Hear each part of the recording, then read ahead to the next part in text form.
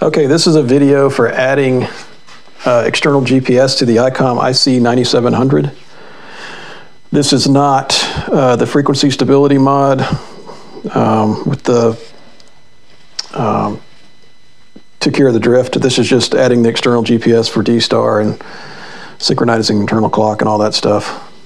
Uh, kind of like the IC705 has that was not included with the 9700. Anyway, it's just going to show you how to make this pigtail uh, where you can plug a GPS in.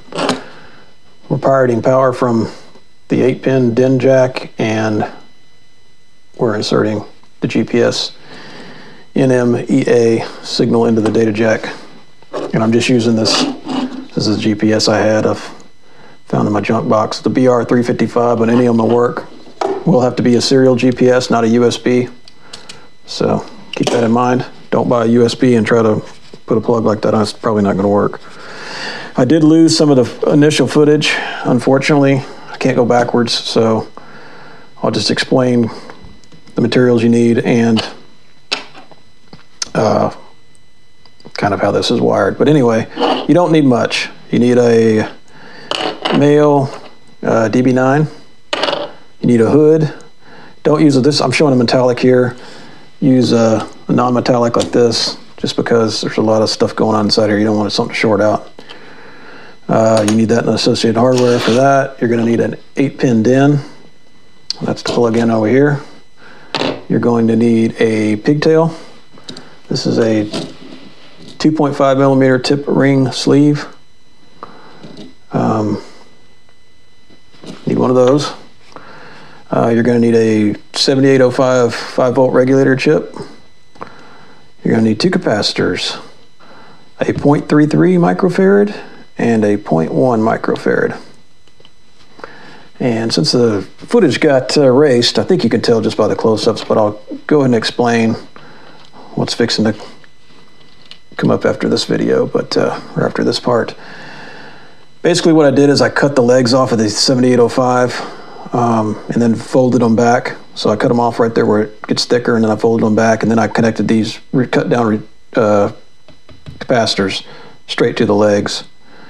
And this is how they're set up here is basically how they're wired. You're going to connect the, the common leg together between the two capacitors and then those will connect to the center pin which is ground on this chip, and the remaining leg of the 0.33 will connect to the input side, which is pin 1 on here, and the remaining leg of the 0.1 microfarad capacitor will connect to pin 3, which is the 5 volt output.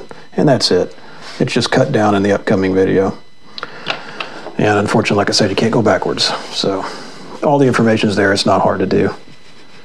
Um, I didn't talk about the settings uh, to get this working because there really aren't any. All you have to do is put your, in the menu section, go from manual to external GPS and make sure your baud rate matches. Um, I think it defaults to 4800, maybe it's 9600, but just got to get your baud rate right. And that's it. Good luck.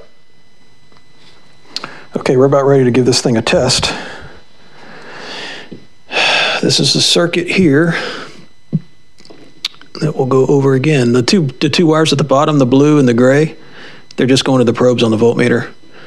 Uh, that's going to be the output, which is simulate where the GPS will be connected. Um, up here, uh, here, uh, the yellow one is supplying 13.8 from the power supply. The green is the ground going to the power supply.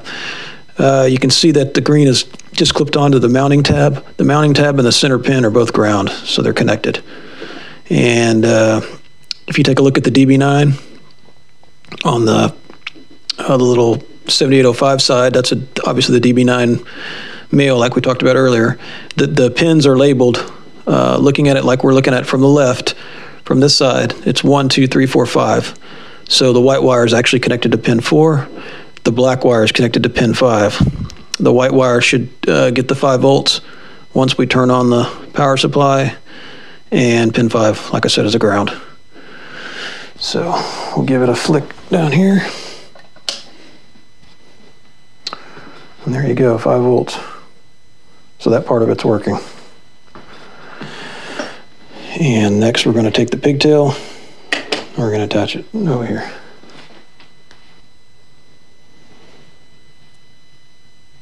There is the serial part of it hooked up. The black wire is on pin 5 with the other black wire.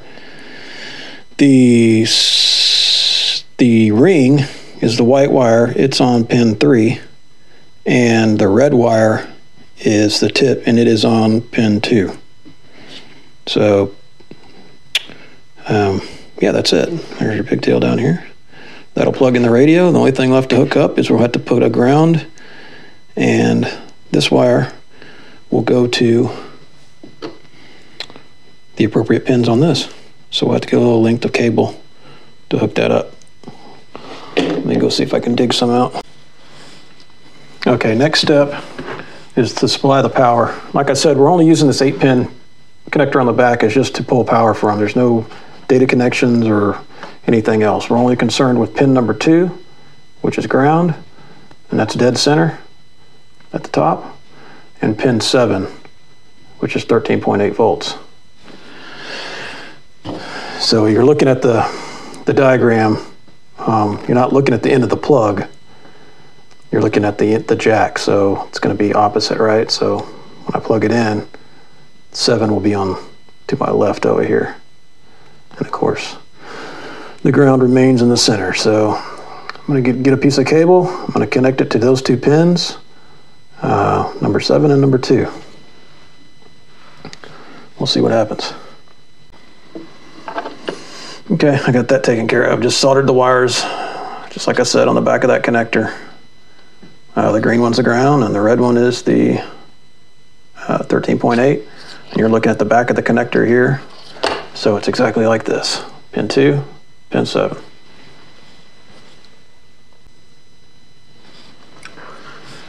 And there it is done. I did change one thing. I got rid of the red wire that was coming off of that chip and just soldered directly. So you can see the red wire coming from that uh, cream colored cable uh, going to the power and the green wire going to the ground with the rest of them. And are we done? We're done. We're finished. All right, let's give it a try.